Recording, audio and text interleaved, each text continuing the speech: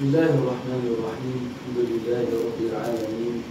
وأفضل الصلاة وأتم التسليم على سيدنا محمد وعلى آله وصحبه أجمعين. الدرس السادس بعد المئة الأولى. من كتاب الأدب المفرد لإمامنا محمد بن إسماعيل البخاري عليه من الله شهادة الرحمة والرضوان. عنوان الباب يطعم العبد مما وبه إليه قال حدثنا عبد الله بن مسلمة قال حدثنا مروان بن معاوية عن الفضل بن مبشر قال سمعت جابر بن عبد الله يقول كان النبي صلى الله عليه وسلم يوصي بالمملوكين خيرا. لاحظوا الإسلام يعني ضيق. الفتح على دخول الأرقاء يعني إلى دائرة الرق وسع الفتحة لخروجهم من دائرة الرق وفيما بينهما أوصى بالأرقاء خيرا. قال كان النبي صلى الله عليه وسلم يوصي بالمملوكين خيرا ويقول أطعموهم مما تأكلون وألبسوهم مما تلبسون.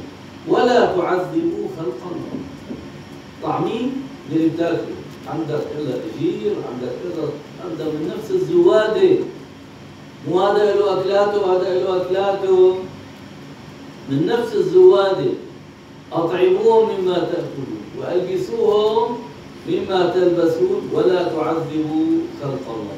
في إشارة إنه الإنسان بمجرد إنه يعني يختص بطعام دون فيه تعذيب ولا نفسيا إنه أنا أقل لكن لما بيعامله سيده كأنه هو نفس اللباس نفس الطعام نفس المسكن هلا بدول الخليج بيعملوا غرفة للخدامة طولها متر ونص وعرضها نص متر أو مترين.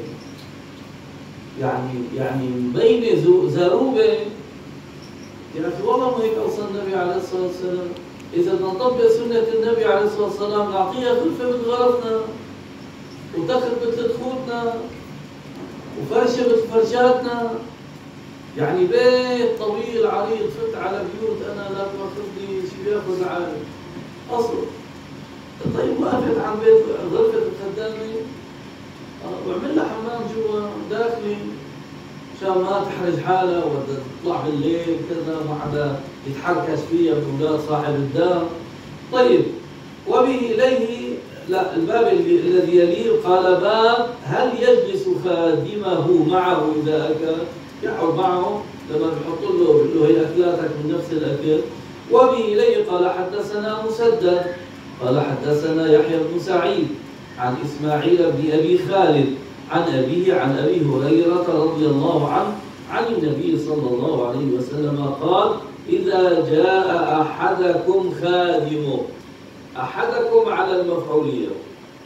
خادمه على الفاعلية مين اللي جاء الخادم. إذا جاء أحدكم خادمه بطعام جاب له الخادم لسي إلى سي أتى بالطعام إلى سيده. قال فليجلسه. عود معه قلنا ناكل سوا فإن لم يقبل يعني تواضعا استحى أنه يقعد هو وسيده على سفرة واحدة. قال فليناوله خليه خذ لك اللقمة خذ لك اللقمتين آه وزاد في الصحيح لقمة أو لقمتين فليناوله لقمتان أو لقمتين أو أكلتان أو أكلتين. وزاد ابن ماجه في رواية عند ابن ماجه قال فليأكل يعني إذا جاء أحدكم خادمه بطعام فليجلسه فإن لم يقبل هيك سياق الحديث فليأكل معه.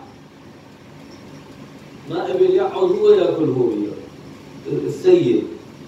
فإن لم يقبل العبد الجلوس مع السيد إكراما لسيده وتواضعا لنفسه فليناوله لقمة أو لقمتين.